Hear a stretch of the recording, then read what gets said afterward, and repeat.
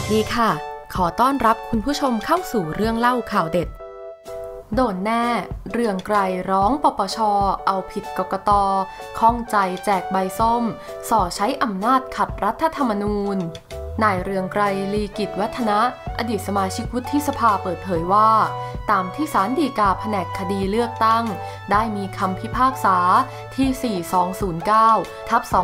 2563 ซึ่งคณะกรรมการการเลือกตั้งหรือกกตเป็นผู้ร้อง โดยมีนายสุรพลเกียรติชัยกร เป็นผู้คัดค้าน โดยสารพิพากษาไว้ตอนหนึ่งในหน้า 34 ว่า ข้อเท็จจริงตามทางไต่สวนยังฟังไม่ได้ว่าผู้คัดค้านถวายเงินจำนวน 2,000 บาท แก่พระครูท้าวรวรคุณเพื่อเป็นการสื่อสารให้ชาวบ้านเข้าใจว่า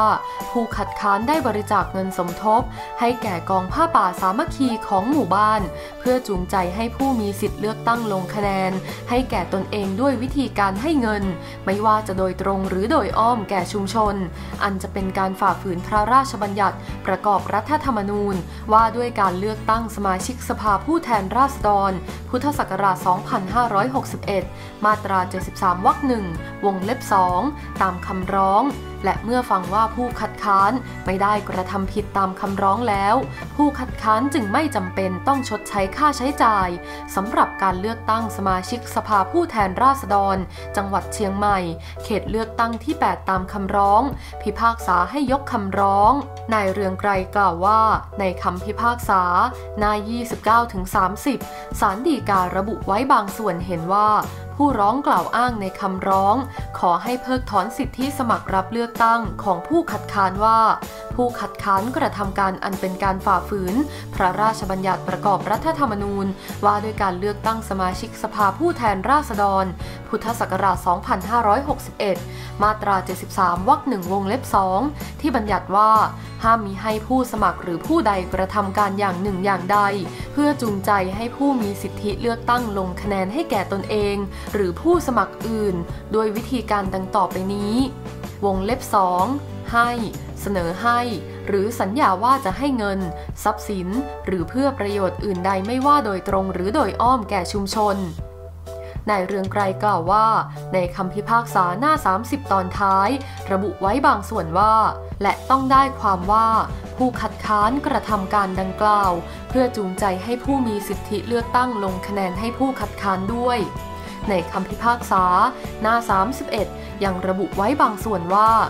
นอกจากนี้ตามทางไต่สวนไม่ปรากฏข้อเท็จจริงทำให้ผู้คัดค้านหรือบุคคลใดเชื่อได้ว่านายเรืองไกรกล่าวว่า การที่ศาลฎีกายกคำร้องดังกล่าว เห็นได้ว่ามาจากกกต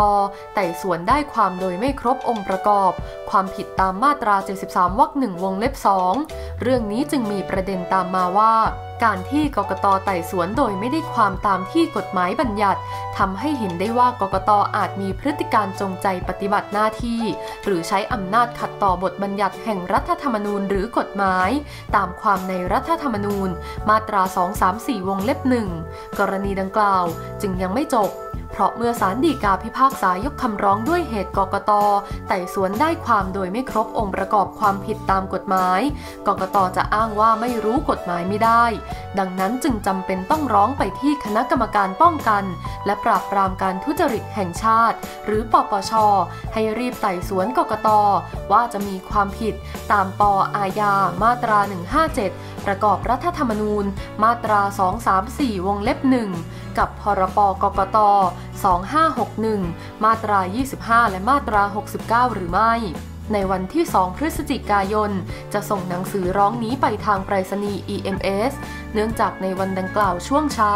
ไม่ว่าง เพราะต้องไปศาลอาญาคดีทุจริต เพื่อฟังคำสั่งศาลฎีกา คดีที่นายประชาประสบดี ฟ้องปปช ขอขอบคุณข้อมูลดีๆ จากไทยโพสต์